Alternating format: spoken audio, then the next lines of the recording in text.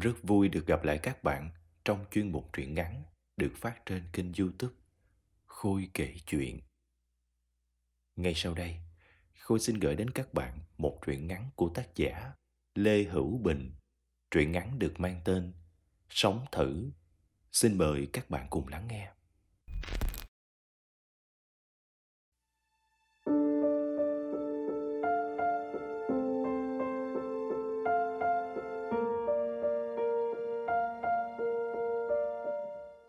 Đường cày của bà Năm bữa nay lắc léo quá không thẳng. Nhiều chỗ cày trượt lên trên cày sống. Bà khiến con bò kéo thế nào ấy, lúc nhanh lúc chậm không theo nhịp, tắt vô tắt ra. Tay cầm cày mà bà đang nghĩ cái điều rất hệ trọng. Hôm qua, thằng cu tám ở xóm giữa làng từ thành phố về có chuyện. Bà nghe được là cái vân nhà bà đang sống thử với một cậu sinh viên trong lớp. Bà bực lắm phát choáng. Sống thử là thế nào? Ăn thử ở thử và mỗi cái đều thử ư. Bà sinh nó ra, nuôi đến giờ ngót 19 năm, tất cả đều thật. Thế nhưng tự nhiên lại sống thử với thằng nào cơ chứ? Chồng bà lên nhà dì ruột ở Hoành Suối, một huyện bán sơn địa, có việc mai mới về. Bà nóng ruột mong con để tâm sự và tìm cách tách con ra khỏi cuộc sống thử trở về sống thật như trước đây. Nghe mang máng chuyện đó, bà cũng không nói với ai, xấu hổ quá. Vì thế bà cất trong bụng, giờ thì đổ hết ra đường cày cong queo ngoắt ngoéo. Gần trưa, chưa hết xào ruộng, bà chán ngán bỏ cày, giận dội cái thừng lên bộ sừng đầu con bò thả ra đồng mặt nó tìm cỏ. Quần sáng cao, còn nguyên đất dính, giác cày về gặp ai bà cũng cúi mặt không muốn hỏi chào. Bát cơm hè nóng mồ hôi nhễ nhại, bê lên miệng không sao nuốt nổi vì chuyện cái vân mà bỗng rác hơn cả mùa hè, bà chỉ mong ông về nhanh để trút hết cơn bực con sang ông, chờ mãi gần tối ông mới về. Hai tay bê bì tải nặng, nào mít sắn và mấy củ mang tươi. Nhà cô dì ruột khá giàu ở miền trung du, năm nào ông cũng lên vào dịp này. Vừa là có việc, vừa lấy một số củ quả, nhà dì nhiều lắm. Chỉ mong bác lên lấy bớt về ăn cảnh ngộ hai chị em khá giống nhau. Vợ ông được một con gái là cháu vân, lê thị vân.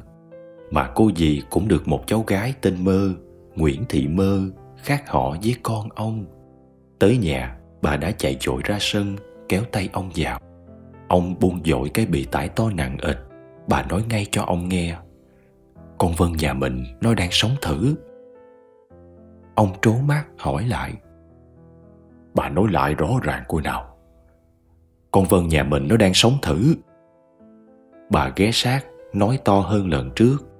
Mùi trầu thuốc phả vào mặt ông. Hồi trẻ, ông thấy thơm. Bây giờ ông thấy hăng hăng. Ông quay ngang như muốn ngoảnh mặt đi. Sống thử hay sống thật cái mẹ nó. Có gì mà phải sồn sồn lên. Cũng không kém, Mùi rượu phả từ miệng ông hăng hăng. Ông dứt các thứ đồ đạc giữa sân treo mũ cối vào dinh ở cột bước dội vào trong nhà. Mặt bà chạy theo. Ông cởi dội giày ném lưng xuống giường đánh rậm ông mới ăn củ ở nhà gì rượu bây giờ mới ngắm mệt. Hai tay bà lay lay chỉ muốn nói thêm với ông rất nhiều điều nhưng thay việc trả lời ông đã ngáy o ó. Bực quá bà chửi đổng. Nóc cho lắm vào. Có chuyện cần bàn á thì không làm sao nói được à. Sáng mai dậy rượu đã nhạt hơi. Ông hỏi kỹ lại cái chuyện sống thử của con gái rượu đang học ở trường đại học kiến trúc. Vì tối qua ông nghe câu được câu mất. Bà kể lại hết cho ông câu chuyện. Bà nghe cậu tám học sinh sớm giữa đang học ngoài đó cùng khoa với con mình rằng con mình đang sống thử với một cậu nào đó cùng là sinh viên. Bắt tay qua trán suy nghĩ một lát, ông bảo với bà. Từ xưa tới nay ờ, chỉ nghe sống độc thân, ly thân, sống cho ngày mai, hoặc cùng lắm là sống gửi thác nhờ, chứ chưa có nghe sống thử là gì. Được rồi, để tôi hỏi mấy người có kiến thức lớn về xã hội, họ sẽ giải thích cho. Bà im lặng chờ đợi. Ngay tối hôm sau, hai ông bà trò chuyện với nhau. Ông nói, Hỏi rồi, người ta nói ở trường đại học hoặc một số nơi trọ của công nhân, Hiện nay một số sinh viên, người lao động đang sống thử với nhau, học theo kiểu nước ngoài học trên mạng máy tính đua đồ theo phim ảnh á. Sống thử là thử làm vợ làm chồng coi có được không. Ra trường thấy kết quả tốt mới lấy. Người ta còn bảo, sống thử đang là mốt hiện nay ở các thành phố đô thị. Chào ôi, chết mất à. Bà Năm giật mình thồn thột. Như vậy, Vân con gái bà đã thử làm vợ người ta rồi. Thằng nào mới được chứ? Trước đây ông lấy bà phải tìm hiểu chén, sau đó là bỏ trầu, ăn hỏi biết bao thủ tục lễ nghi, rượu chè thuốc lá trầu cau, lợn gà hàng cánh nặng, ý kiến họ hàng nội tộc các kiểu mới đón được bà về làm vợ. Đêm tân hôn, bà còn rụt rè e thẹn, cứ túm chặt cặp quần kéo ngược. Vất vả lắm ông mới cho bà không còn quần áo đo dáng. Thế mà bây giờ, chả biết mặt mũi cái thằng người yêu nó ngang hay dọc, con gái mình dễ dãi quá, đã trao cái ngàn vàng cho hắn, thì nhục ơi là nhục. Bà than giảng. Vâng ơi, con đã đánh mất hết rồi. Danh dự gia đình họ hàng nhà ta tất cả ở đó. Đứa nào đã thúc mách cái ngàn vàng của con, thằng mất dạy nào. Bà cầm tay ông vừa lắc vừa dứt. Ông phải làm thế nào đi? Ông nói, Ờ, ờ, việc đâu còn có đó. Để tôi nghĩ cách. Chả cách nào khác. Bà cắt ngang lời. Mai hoặc bữa kia, ông đã thành phố xem cụ thể ra sao, lội cái sống thử của nó về đây tẩn cho một trận. Chưa hỏi cha mẹ như vậy là hư đó. Ôi trời, đi ngay sao được. Không ra đó thì thôi, đã ra lại phải vài trăm cho con, lại phải bán các thứ. Mỗi tháng đó chi tiêu vậy, chi mất khoảng triệu rưỡi. Lương hưu của tôi dốc hết vào đấy. Nhà không còn đồng nào, cha mẹ vất vả cốt nhặt từng đồng, con thì vừa học vừa đua đòi sống thử. Ruột tôi cũng đang băm ra từng khúc đây. băm hay xé ra hàng ngàn mảnh ông cũng phải đi. Còn con lợn nhỏ kia bán đốt. Đàn bà tôi chịu. Tôi chưa ra thành phố bao giờ. Ông mang con nhập trường và tìm nhà trọ cho nó ông đi mới được. Phải đi kẻo muộn. Con mình không những sống thử mà còn đẻ thử thì ăn nói thế nào đây? Nhục ơi là nhục à. Bà nhắc lại từ nhục mấy lần. Làm người mẹ mang nặng đẻ đau mới thấy hết cái đau khi con mình bị mất trinh. Giá trị quý nhất của người phụ nữ. Vì sao vậy? Hoàn toàn đúng. Vì từ lúc con ẩm ngửa à ơi, cho đến khi con gái chập chững biết đi, tiếng mẹ đầu tiên nó gọi, năm tháng trôi đi, cũng là bản tường trình ghi lại sự thay đổi trong nó lúc nhỏ bà tắm rửa vuốt ve thơm cả giống của con. Từ khi lên bảy biết thẹn, quần áo mặc cả ngày, ông bà ngại dần sự vuốt ve sờ mó vào cái quý đó của nó. Cũng từ đấy, cái ngàn vàng bắt đầu đi vào thế giới bí ẩn thiên liêng luôn được giấu kín. Mọi sự thay đổi ở đó, chỉ còn mình con nó biết thôi. Kính đáo quý giá trân trọng, thế mà bỗng chốc bị thằng trai nào chiếm đoạt sờ mó dễ dàng thử hỏi chịu sao được. Bà năm đứng dậy, ra xem lại con lợn trong chuồng, vào buồn nhướng chân ngó sâu vào bộ thóc. Tất cả các thứ này đều có thể bán được. Tất cả cho việc ông đi, tất cả là do cái gọi là sống thử của vân gây ra.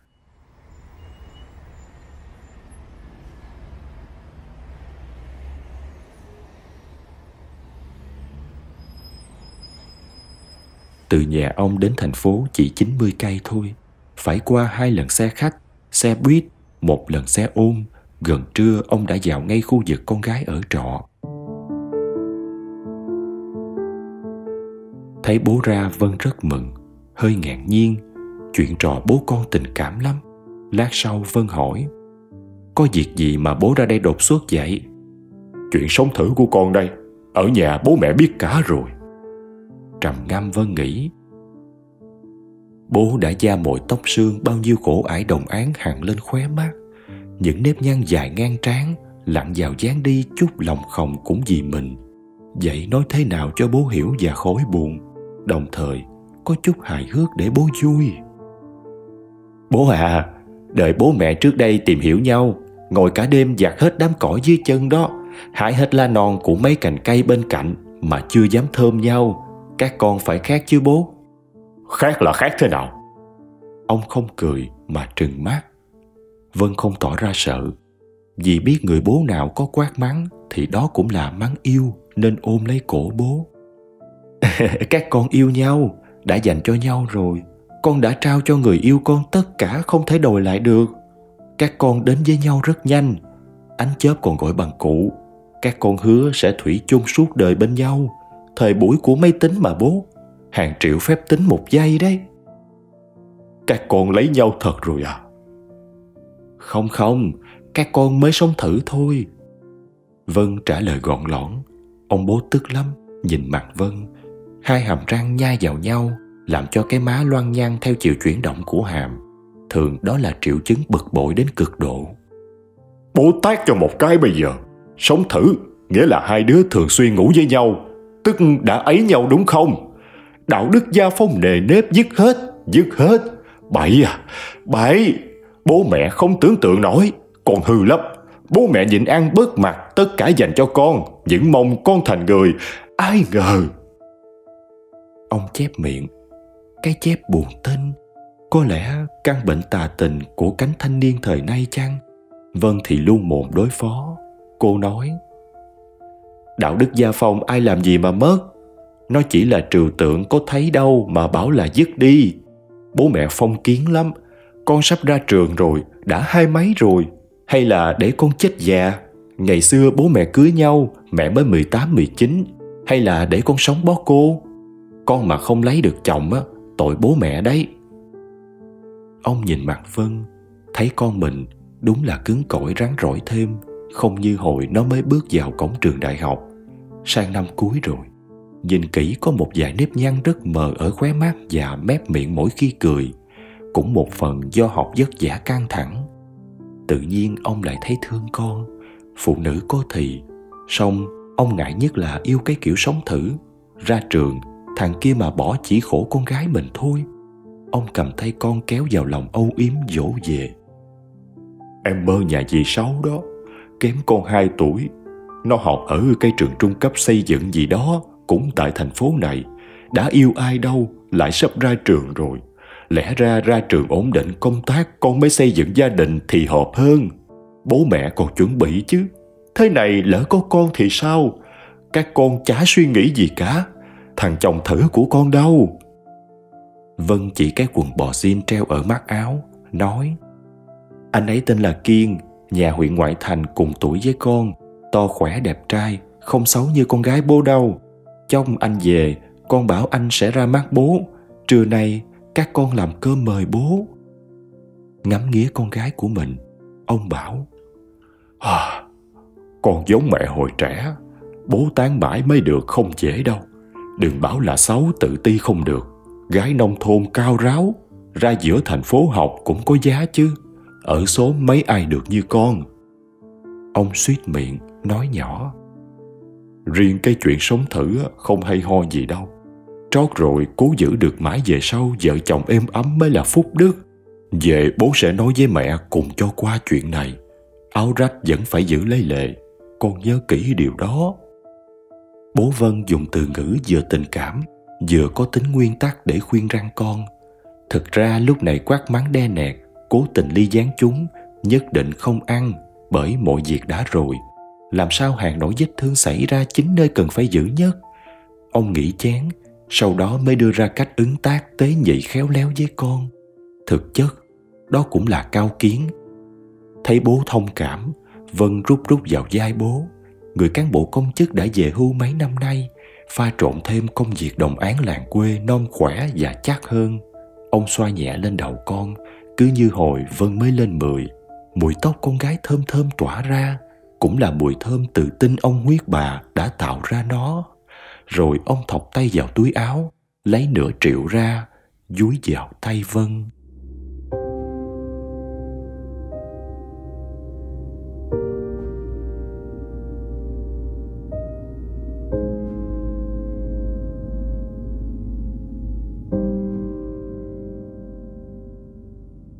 Sang học kỳ 2 còn mấy tháng nữa tốt nghiệp. Kiên không dùng bao cao su. Hắn quyết định cho Vân chữa. Hắn tin rằng 4 tháng nữa bảo vệ tốt nghiệp Vân mang thai ráng nén chật bụng Ra trường vài tháng sinh con như thế hợp lý. Kiên nêu điều này ra, Vân đồng ý. Tình yêu mãnh liệt ở đôi trai gái mấy năm nay sống thử, chắc hẳn thời điểm này đã chín mùi. Vừa ngén, vừa nôn ọe, vừa chuẩn bị báo cáo đồ án, Vân mệt rã rời. Bù chào là một sinh linh nhỏ đang lớn dần và hình thành trong cơ thể Vân. Cả hai đều sung sướng mong ngày bé ra đời. Tuyệt nhiên không báo cáo gia đình về chuyện Vân đã có bầu vì ngại nhiều lý do.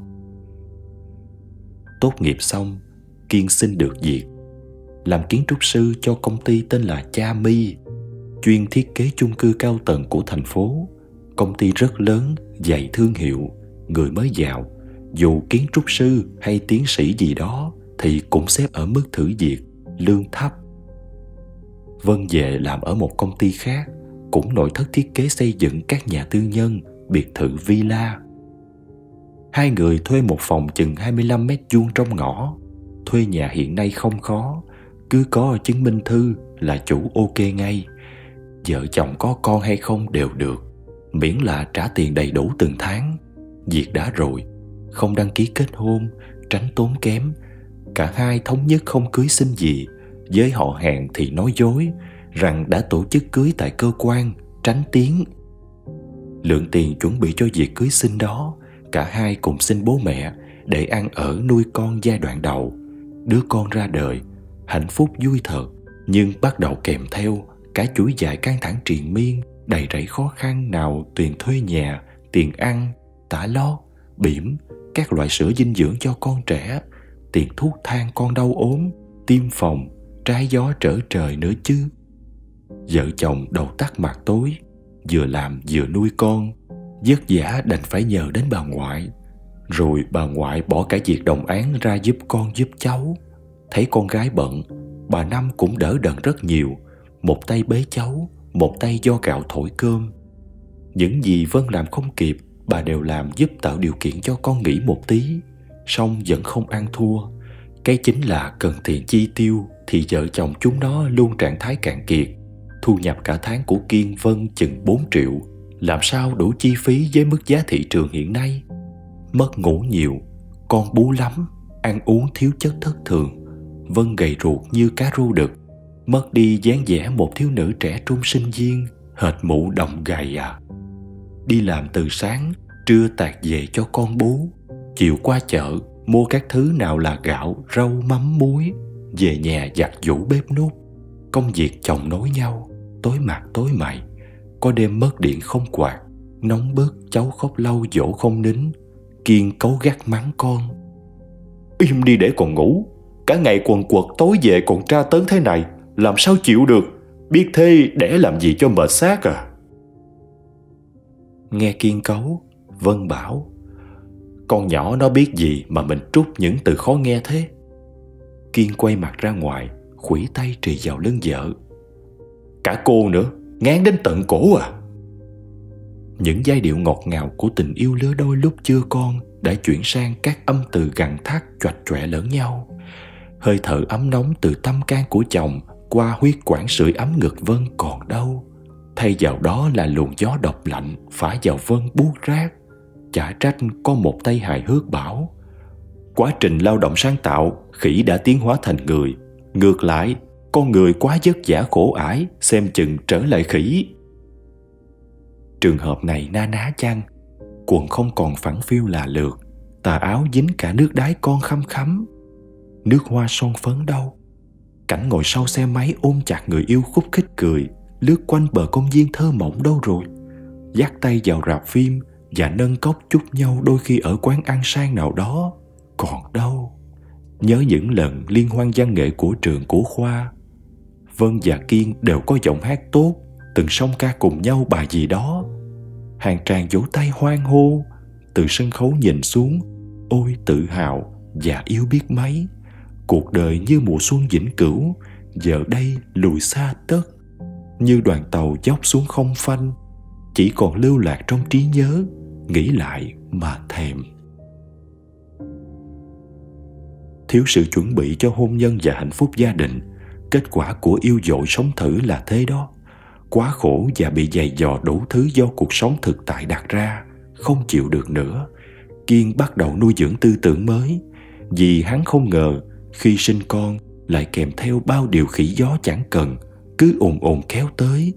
Những điều đẹp đẽ của thời kỳ son trẻ giữa hắn và vân cứ tan biến ra xa, thay vào là xấu xí bẩn thỉu, thiếu thốn, khó khăn chất chồng. Đi làm hàng ngày, hắn ta để ý tới một công ty cổ phần xây dựng cô Di Ly thành lập chưa được lâu. Ở quận khác cuối thành phố, cách chỗ ở hiện nay khá xa. Một buổi sáng ngủ dậy muộn do quá mệt mỏi kiên đi làm từ lúc nào, vân không biết. Cô dậy lục sờ vào chản bát, hết cả mì tôm rồi, bếp nút lạnh tanh. Thấy tờ giấy đặt ngay trên bếp ga, vân cầm xem thì nội dung là, vân, anh thật sự có lỗi với em và con, anh phải đi. Mong em tha thứ cho anh. Sau này có dịp, anh sẽ gặp lại em và con. Trước mắt khó khăn quá, không vượt qua được, nên em bế con về, nhờ ông bà ngoại ký tên anh.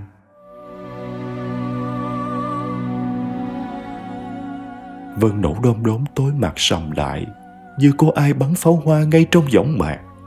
Cô từ từ khuỵu rồi ngồi bờ xuống nền nhà. Hai chân chuỗi ra, Tóc rối bời phủ che cả lưng và mặt. Hai tay giơ lên chém xuống Như con chém chuối, Khóc và rên. Mẹ ơi Anh Kiên bỏ con và cháu rồi Ôi cha mẹ ơi Trời ơi sao con khổ thế này Bà Năm đang nằm với cháu, nghe con gái khóc. Bà bật dậy chạy ngay ra chỗ con gái. Sao, có chuyện gì? Nước mắt nước mũi lem hết cả mặt, dây vào tóc dính bết. Vân lại dán lên. Mẹ ơi, con khổ lắm thôi. Chồng con bỏ con rồi. Đây này. Vừa tru tréo, vừa đưa tờ giấy cho mẹ đẻ xem. Nghe vậy, bà cũng khóc theo Đứa cháu mới gần 6 tháng đã giật mình lật người. Oa, oa, oa. Tất cả như bản giao hưởng xót thương của ba thế hệ não nuột phát ra cùng lúc buốt buồn xương tủy. Căn phòng như muốn sụp xuống bởi khối âm khí nặng nề đè lên. Bà túm hai vai con gái kéo lên. Đứa bé từ từ lật người, trường ra lăn từ trên giường xuống đất. Tiếng thét nhói tai.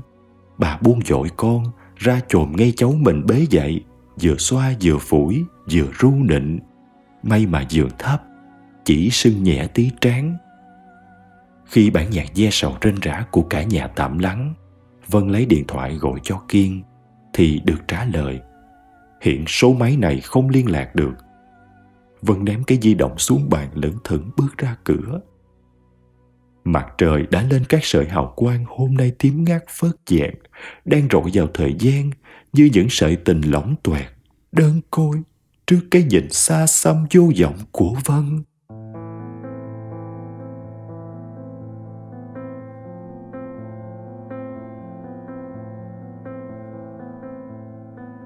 Tuần sau, vân vẫn cố đi làm.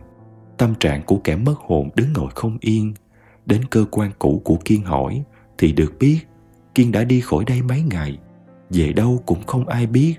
Vân mượn xe phóng về tận quê Kiên hỏi. Cả nhà cho biết, lâu rồi Kiên không về, hiện tại ở đâu không hay, lại còn bị cái nhìn thiếu quý trọng vì tự lấy nhau không kết hôn, không ra mặt họ hàng chẳng ai quan tâm, cũng chẳng ai chịu trách nhiệm, thật là xấu hổ. Tiền sắp hết rồi, biết nương nhờ bố díu vào đâu, kiên lặng không sủi tâm, đoán biết tâm trạng con gái, bà Năm bảo. Tốt nhất con và cháu về bố mẹ nuôi khi nào cháu lớn con lại xin đi làm được không? Công ty tư nhân bây giờ nghe nói nhiều lắm. Vân rủ rượi nhìn mẹ gật gật gián đã đóng thuyền đành cỡ ra vậy thôi. Còn mảnh nào dùng tạm dùng khung thuyền được ghép trên nền của cái gia đình gọi là sóng thử trớ trêu kia hãy chìm xuống đáy nhanh lên chìm vào quên lãng càng sớm càng tốt. Mẹ con bà bồng bế thuê xe về quê, giữa cái nhìn chéo góc của người đời và những lời hăng mùi chanh ớt thoá mạ râm ran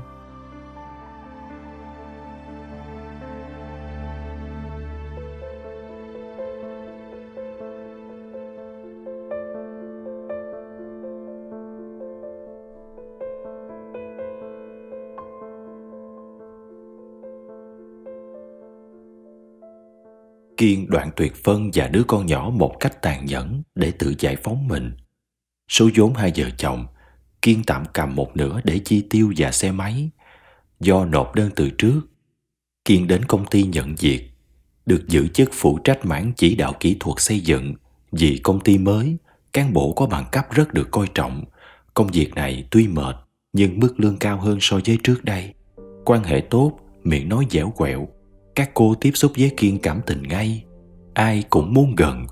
Bộ phận của Kiên 9-10 người, thường 4 nam 6 nữ.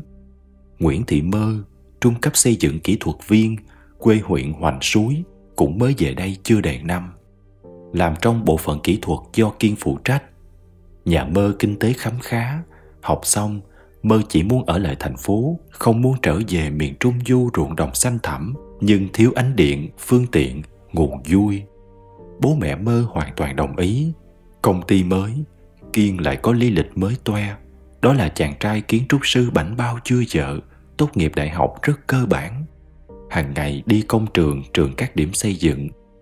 Kiên căn từ bản vẽ xác định vị trí cột dầm, cấu trúc, số lượng thép bên trong hình hộp tam giác hay hình tròn các điểm giao cắt, lỗ nước thoát và tải trọng lên các điểm dầm đó điểm uống, gối đỡ.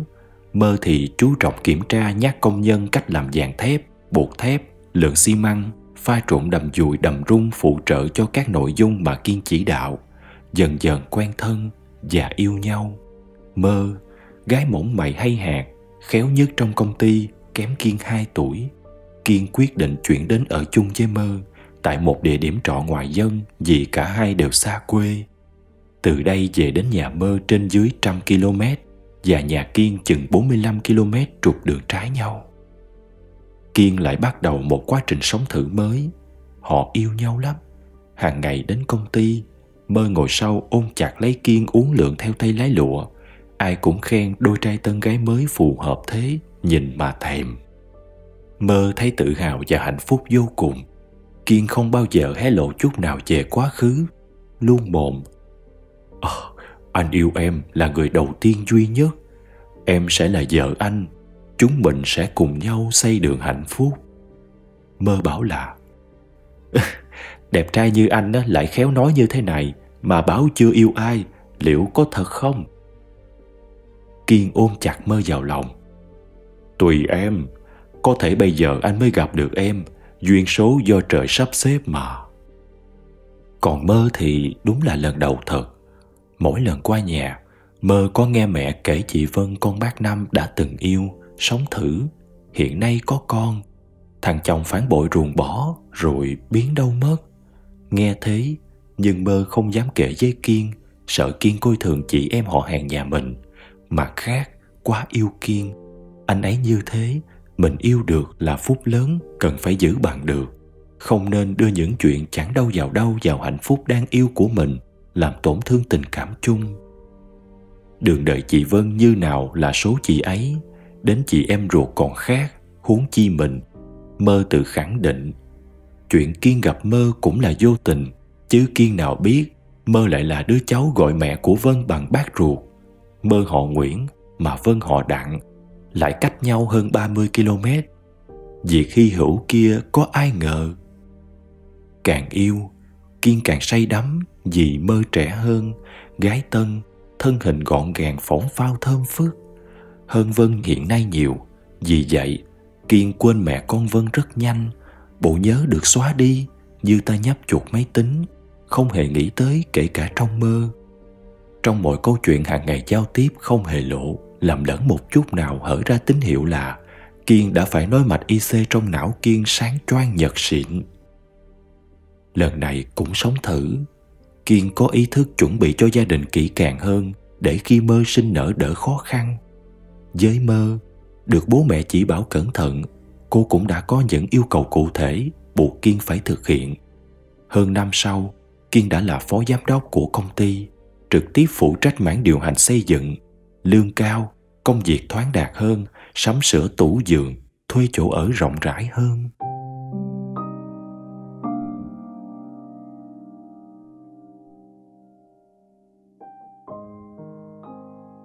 Sống thử.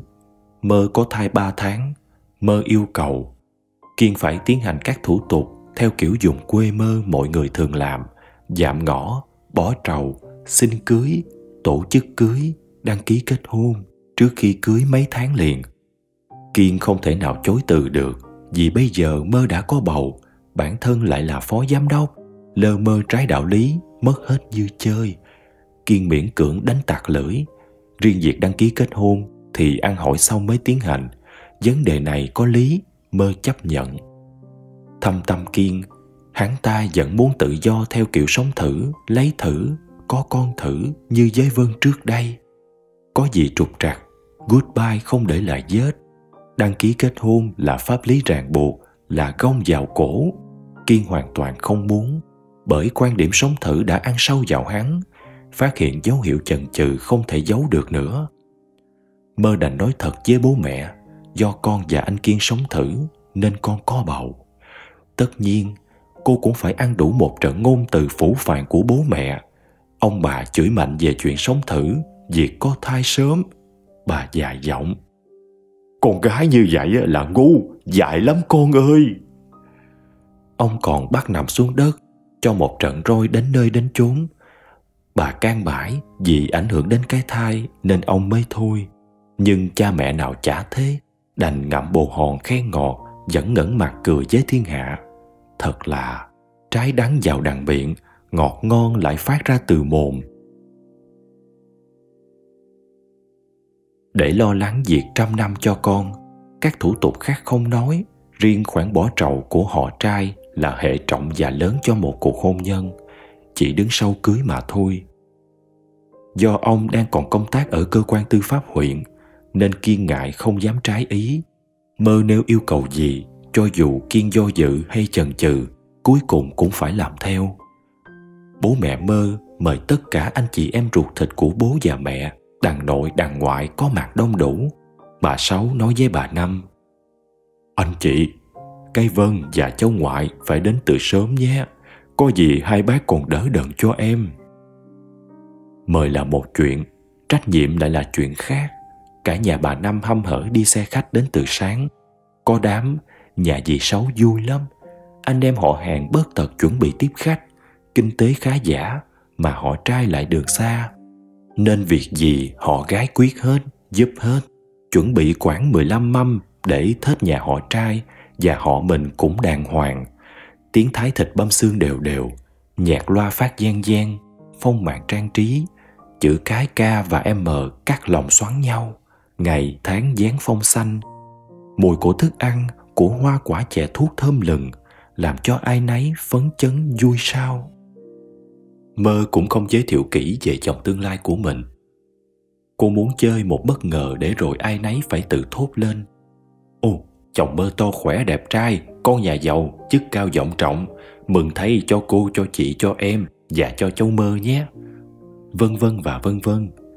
Mơ ấp ủ điều này từ lâu. Vì thấy mấy người lấy chồng xa chưa gì đã khoe, người yêu mình là thế này thế kia. Khi hiện diện, đứa thì gù đá lát.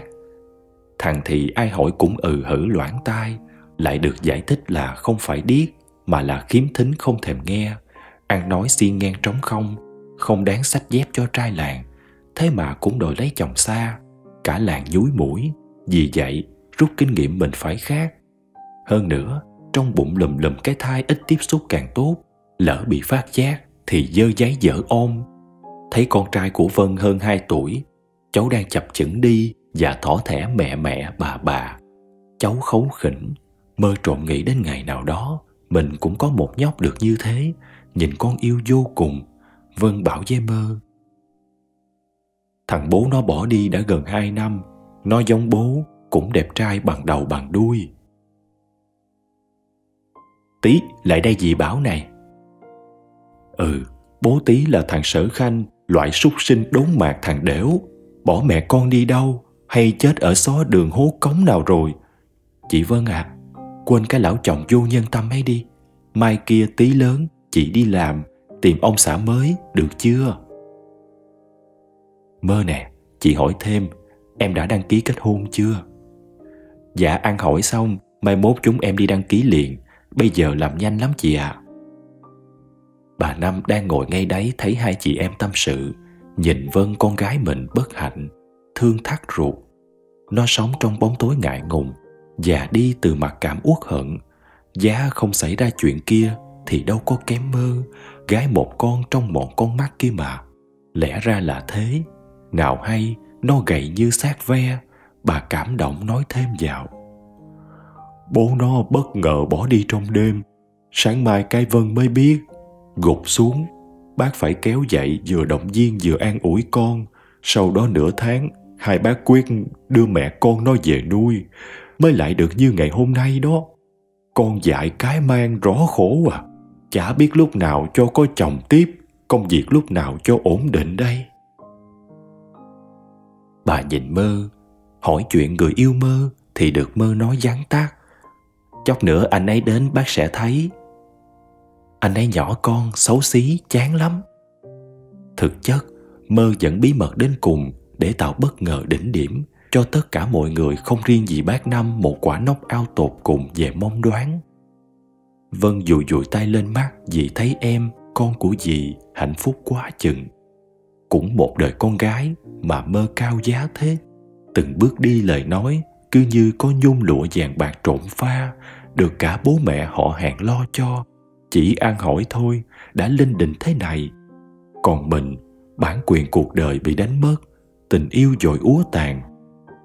Đại học thật mà thua trung cấp, điều nhơ nhuốc không biết bao giờ mới gột sạch khỏi lưỡi thế gian. Thậm chí đứa thối miệng còn khẳng định à, chữa hoang giả giờ dựng chuyện chồng bỏ đi chồng nào có thấy cưới xin đâu. Lẽ ra mình không sống thử nghiêm chỉnh chắc chắn như mơ thì đời đâu bị đau đớn thế này. Càng nhìn mơ vân càng chạnh lòng dời dợi. Nỗi quạnh hưu càng bị đẩy xuống tận cùng không một mẫu phao một dây neo bấu díu sống thử, cái bóng ma bất hạnh làm tan nát cõi lòng ta. Liệu còn ám ảnh đâu đây? Ta căm thù mi, ta muốn lấy vẻ lâu xóa sạch mi khỏi thực tại này. Để các bạn trẻ khác không dính phải độc tình của mi. Nhận ra chân tướng của mi thì ta đã muộn rồi. Vân tự sự với riêng mình, sụp xịt nấc liên tục. Thấy vậy, mơ bảo, ngày vui của em, chị đừng khóc khách khứa họ hàng đầy xung quanh đây này. Nếu mệt chị và cháu vào buồn em nghỉ tạm. Vân lắc đầu rồi cầm tay con trai dắt xuống bếp nơi các vị thanh niên đang gia món hành tỏi cháo rán thơm lừng.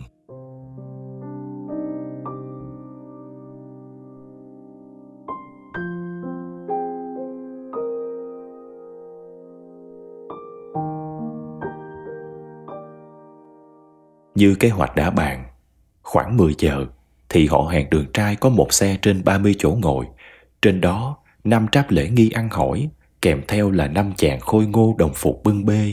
Bố mẹ kiên anh em chú bác cô dì ruột, đương nhiên cũng trên xe.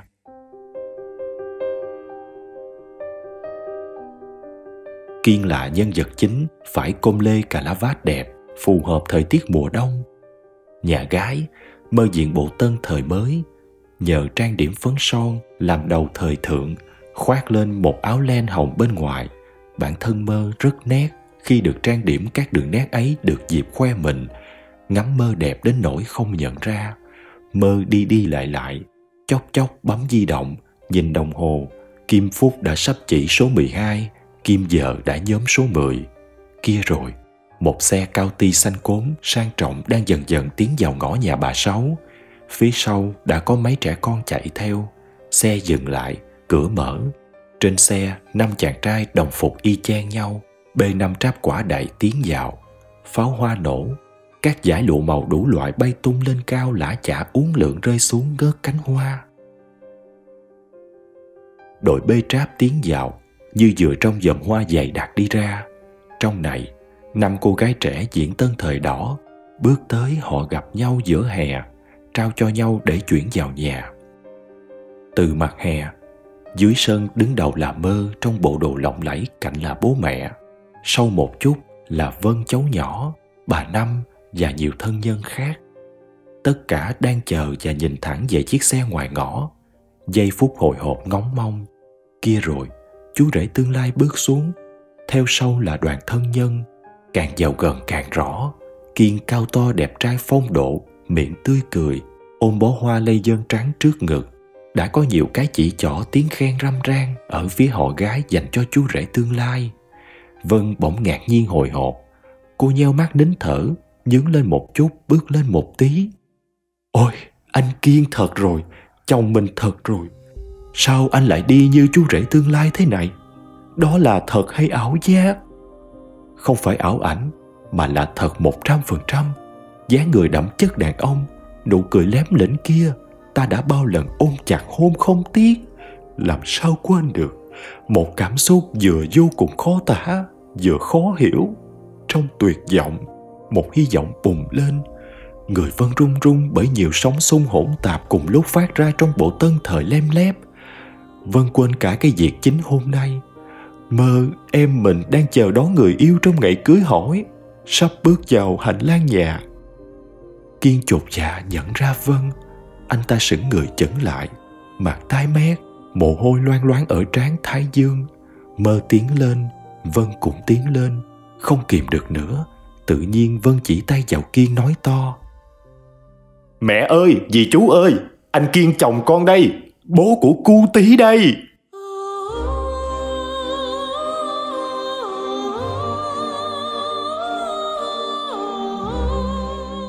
Bà năm phía sau cũng lách người lên. Ồ thằng kiên chồng cái vân con rể tôi thật rồi. Cùng lúc đó mơ giang tay đỡ bó hoa trước ngực kiên nhưng bó hoa đã rơi xuống lúc nào? Nghe vân nói vậy không hiểu đầu cua tay nheo ra sao. Trong khoảnh khắc mơ nhận ra rằng chồng tương lai của mình anh kiên chính là chồng cũ của chị vân. Cô nói như người say nhát gần từng chữ con mắc tội với chị vân rồi. Bố mẹ ơi, giọt máu chồng chị vân và là chồng sắp cưới của con, anh kiên đây, đang lớn trong con, đã được bốn tháng. Ôi, bố mẹ ơi, các bác ơi, con chết con chết mất. Mơ hoa mắt, tim đập loạn xạ, cô từ từ ngã nghiêng sang người vân. Bố mẹ mơ liền đỡ sóc tay con gái mình dậy chính ông bà cũng không hiểu nổi nghiệp chướng bất thường oái âm này tự nhiên lại xảy ra lúc này cơ chứ. Đáng đo làm sao? Biết phân xử thế nào? Thấy vậy, mọi người dưới bếp, đằng sau, bên ngoài đều tập trung lại hết. Mấy người bế mơ vào buồn xoa dầu gió, kiên quay đầu định bỏ chạy ra xe. Hai họ ngăn lại, bi thương, tan nát quá trời. Phá tan hạnh phúc của mơ mà cũng chưa chắc đã bồi đắp được phần nào cho vân tất cả hậu quả kết quả và nhân quả của việc sống thử hỏng hết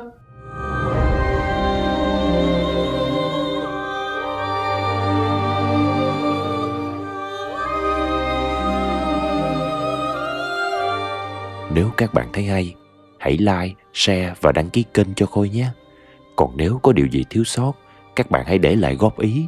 Khôi sẽ cố gắng khắc phục trong những truyện ngắn tiếp theo. Khôi xin cảm ơn.